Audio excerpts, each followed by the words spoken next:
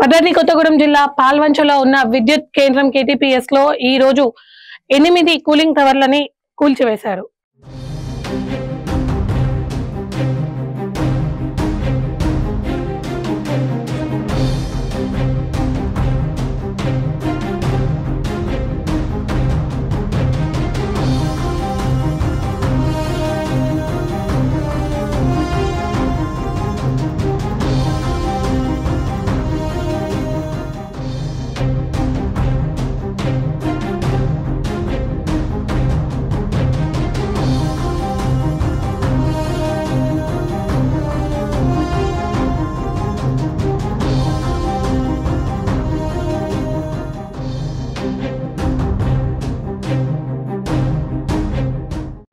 ABC స్టేషన్లలో ఉన్న ఎనిమిది cooling టవర్లను nineteen sixty five seventy eight సంవత్సరంలో జపాన్ టెక్నాలజీ ద్వారా నిర్మించడం జరిగింది.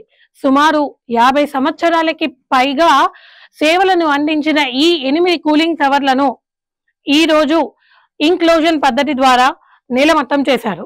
యాభై సంవత్సరాలకు పైగా ఆరు ఆరు వందల ఎనభై మెగా యూనిట్లకి విద్యుత్ని అందించిన ఈ కూలింగ్ టవర్లని ఈ రోజు ఎవరికి ఎటువంటి ప్రమాదం జరగకుండా కట్టుదిట్టమైన భద్రత నడుమ ఒకే ఎత్తున కుప్పకూలే విధంగా ఈ రోజు నేరమట్టం చేయడం జరిగింది. దీని గురించి పూర్తి వివరాలని రెండు మూడు నాలుగు రోజుల ముందు నుంచే అందరికీ అధికారులకు కానీ ప్రతి ఒక్కరికి కానీ ఇన్ఫర్మేషన్ని అందించి ఎవరు కూడా అటువైపు రాకుండా చూసుకొని ఎవరికి ఎటువంటి ఆపద జరగకుండా ఈ ప్రాసెస్ అయితే జరిగింది. కేవలం అంటే ఎనిమిది one twenty hundred to one twenty metres హైట్లో ఉన్న ఈ చిమ్నీలని కేవలం పదిహేను నిమిషాల వ్యవధిలోనే నేలమట్టం చేశారు.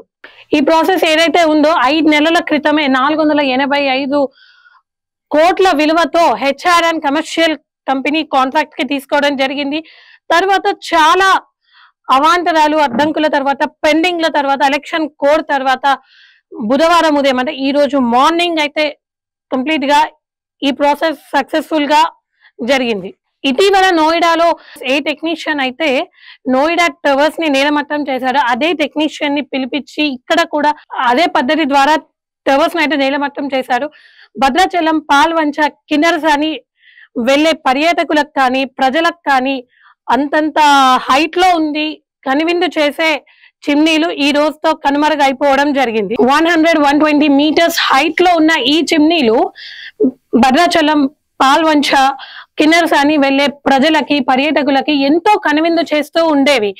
చాలా మంది వాటి దగ్గర నిలబడి సెల్ఫీలు తీసుకొని ఎన్నో తీపి గుర్తులని మిగిల్చుకున్న రోజులు కూడా ఉన్నాయి. ఈ రోజుతో ఆ టవర్స్ ఏవైతే ఉన్నాయో ఆ చిమ్నీలు కనుమరుగైపోయాయి. అయిపోయాయి ఇప్పుడు ఆ ప్లేస్ ఏదైతే ఉందో ప్రస్తుతానికి ఆ ప్లేస్ మళ్ళీ గవర్నమెంట్ స్వాధీనం చేసుకొని మరి ఒక కాంట్రాక్టర్కి ఇచ్చి విద్యుత్కి విద్యుత్ ఉత్పాదనకి ఎటువంటి అంతరాయం అనేది కలగకుండా ఉండడానికి మరి ఒక కొద్ది రోజుల్లోనే మరి ఒక కొత్త చిమ్నీలని కన్స్ట్రక్ట్ చేయడం అయితే స్టార్ట్ చేస్తుంది కేడిపిఎస్